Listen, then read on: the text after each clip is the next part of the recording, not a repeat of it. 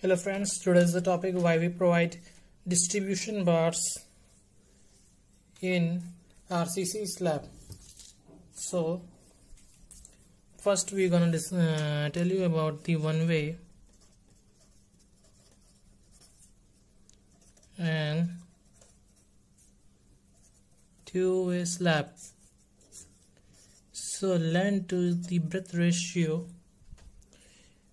greater than or equal to 2 is a one way and length by breadth less than 2 is a two way so mainly distribution bars if we name here as db so distribution bars mainly provided for the one way reinforcement.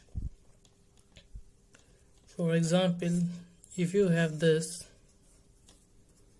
this is the length this is the width. So you can say this is the longer side shorter side. So main reinforcement.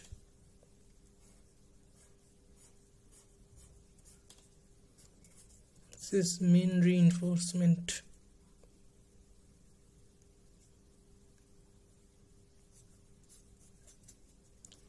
this for mean and after that when we will provide distribution forces or distribution reinforcement.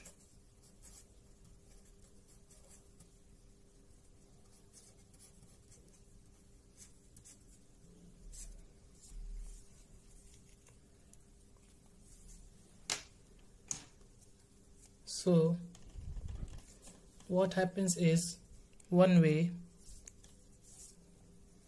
in one way shorter side we provide main reinforcement. Longer side we provide distribution reinforcement. Generally it comes out to be 0.12 to of the total gross sectional area of slab. In two way, we provide main reinforcement. in both L and S, longer and shorter direction. So generally we provide distribution bars in one way slab only. In two-way slab, main reinforcement is provided in longer and shorter direction, both the sides. So, distribute the load towards the longer side in one-way slab is the basic concept. So, what are the main functions of the distribution bar? You can say purpose,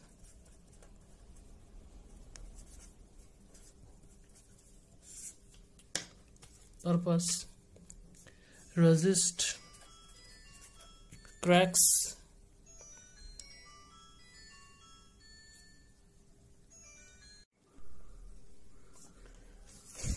to resist the distribution.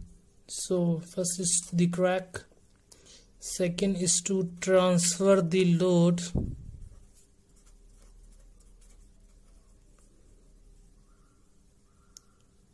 To main bars to increase the strength of slab. Third one fourth to support the main steel bar for maintaining spacing between the bars. Distribution is provided in one way slab only. In one way case one way slab only so there are the three stresses which affect the distribution bars. Mm, that is also the main reason we provide. It is the temperature stress? Creep and shrinkage. So we provide temperature reinforcement shrinkage reinforcement and also the distribution bars due to these three stresses according to the temperature change and temperatures expansion and contraction occurs due to which the failure occur in the tension zone. So we provide steel bars at the bottom of the tension zone to avoid the failure of the cracks.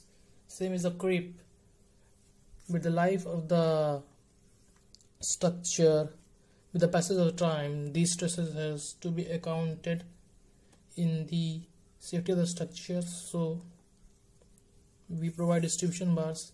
Shrinkage is also the same. Cold it shrinks so to avoid these three types of stresses we provide distribution bars. So if you like the video press the like button subscribe comment and press the bell icon to receive notifications. Jane.